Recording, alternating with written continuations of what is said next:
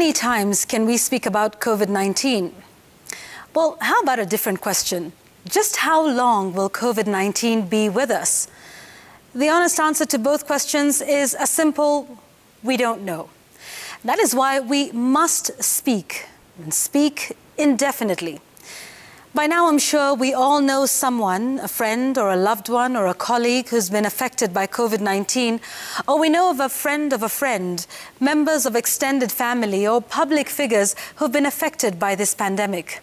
It is perhaps the story we aired here on Citizen Television of a family in Gikambura village of Kiambu County that brought it home for me more recently and more poignantly a personal, painful reality beyond the numbers and statistics we get from the Ministry of Health every day, a personification of that 15% positivity rate.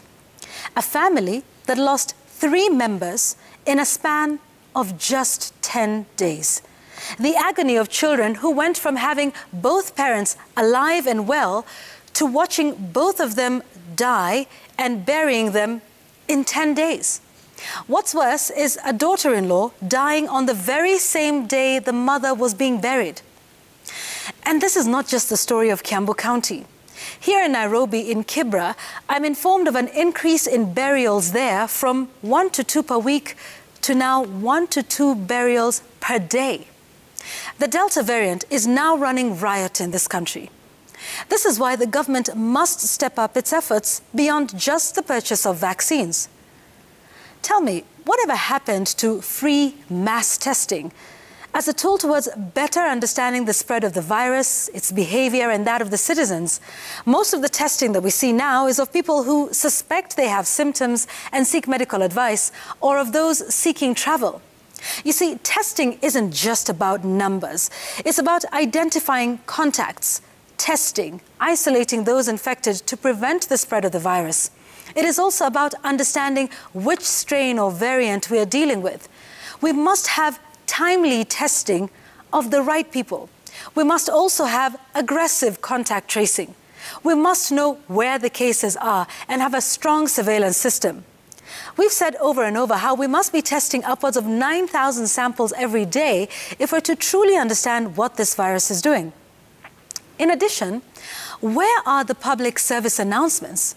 When was the last time you saw an ad on television or even your vernacular radio station with latest information on, say, the Delta variant, how different it is, its rapid transmissibility?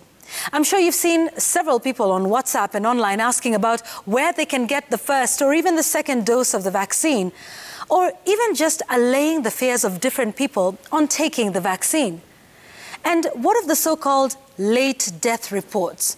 I mean, how difficult is it to get real time data collected from around the country on the number of deaths recorded in the country?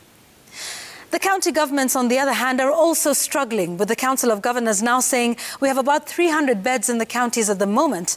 The Kiambu County government complaining of the lack of sufficient oxygen. What is our approach to fighting this pandemic at the moment? And how has it evolved over the last 18 months since we recorded our first case? because we seem to be struggling with the same issues bed capacity, oxygen supply, sufficient testing. Folks, COVID 19 may be a tired story, but the virus is not tired. The advent of the more aggressive Delta variant, if nothing else, should wake us up from our seemingly deep slumber. It should be a powerful reminder that this was never going to be a sprint, that this will not have quick fixes that this, for the war that it is, will require strategies, tactics. It will require constant intelligence about the enemy, and above all, it will require consistency. Because any moment we drop the guard, the result is more infections, more suffering, more death. The result is another Gikambura, and another, and another. That's my take tonight.